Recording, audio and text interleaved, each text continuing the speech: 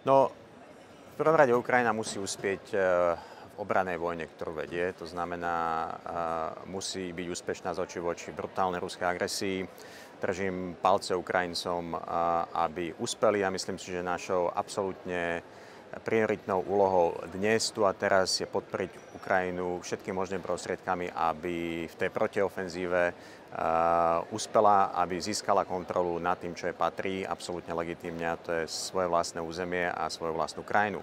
S tým súvisia odpoveď na otázku, aká by mala byť tá obnova. Tá obnova uh, musí byť uh, Európska, demokratická musí byť investíciou do budúcnosti Ukrajiny, ale vlastne aj do budúcnosti bezpečnejšej Európy.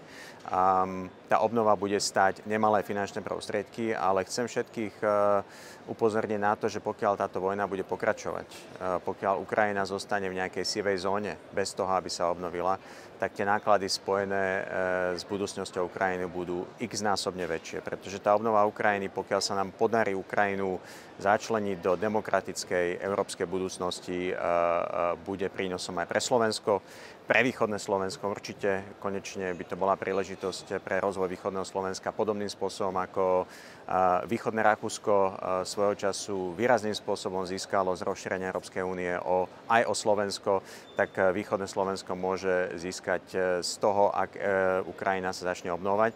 A myslím si, že tá obnova musí byť európska, to znamená ruka v ruke e, s tou ponukou Ukrajiny stať sa jedného dňa členským štátom Európskej únie. To znamená, musí byť naviazaná na tú európsku cestu, na kandidátsky štatút, na vyjednávania o budúcnosti členstva Ukrajiny v Európskej únii. To znamená, je spojená s reformami, je spojená s investíciami do infraštruktúry, je spojená s investíciami do ľudí a, a je hlavne spojená s investíciou do bezpečnosti. Z môjho pohľadu tá obnova musí byť postavená nielen na členstve Ukrajiny v Európskej únii, ale uh, takisto na jasnej mape a predstave o členstve Ukrajiny v Severoatlantickej aliancii. Uh, toto je takisto dôležité. Potrebujeme bezpečnú krajinu, ktorá bude uh, jednoducho našim najväčším spolahlivým susedom a investíciou aj pre budúcnosť Slovenska.